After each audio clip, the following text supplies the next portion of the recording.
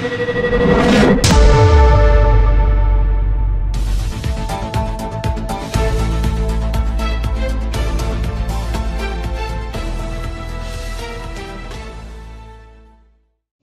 officer who shot dead Burnley colleague found guilty of gross misconduct but keeps his job. A police officer who shot dead a colleague has been given a reprimand but will keep his job despite being found guilty of gross misconduct. PC Terry, 32, was killed during a botched firearms training exercise by Greater Manchester Police GMP in June 2008. More top stories. An inquest in 2010 found PC Terry, the father of two, was unlawfully killed.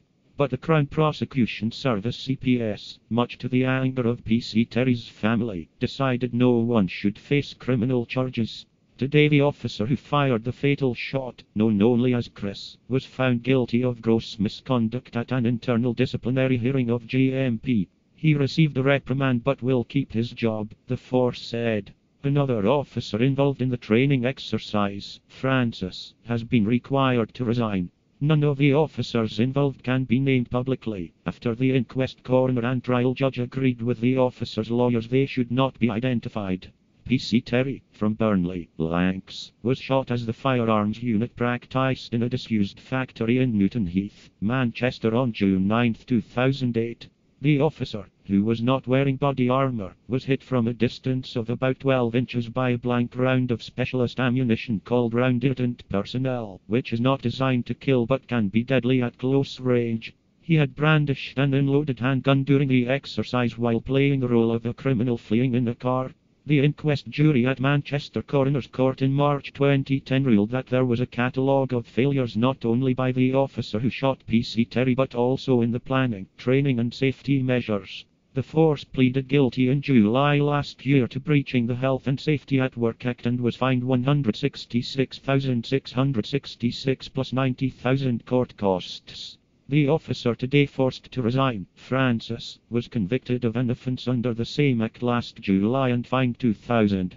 A third officer, known as Eric, was acquitted of the same charge. Misconduct allegations identified by an investigation by the Independent Police Complaints Commission IPCC were heard at an internal GMP misconduct hearing concluding today.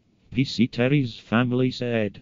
It has taken an unprecedented six years for the officer who killed Ian to face any form of penalty for his actions, but after hearing all the evidence, an independent internal discipline tribunal has found that this officer has not only breached several rules of conduct, but his actions fell far below what is expected of a police officer.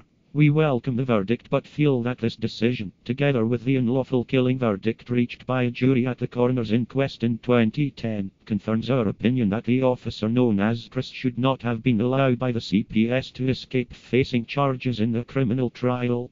The tribunal have considered the circumstances of this case carefully and administered what they believe to be appropriate sanctions but the important result of this hearing is that we finally feel the officers responsible have been shown indisputably that they are undeniably to blame for Ian's death and we want them to know that we believe if they'd had the courage to face the consequences of their actions in 2008 and take responsibility for their actions, they could have saved our family six years of unnecessary pain and difficulty.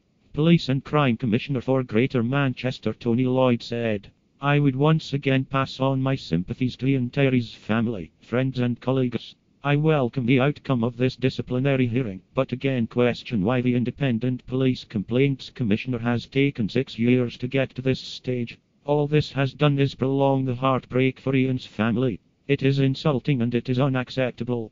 The IPCC needs to change the way it goes about its business, or else the government needs to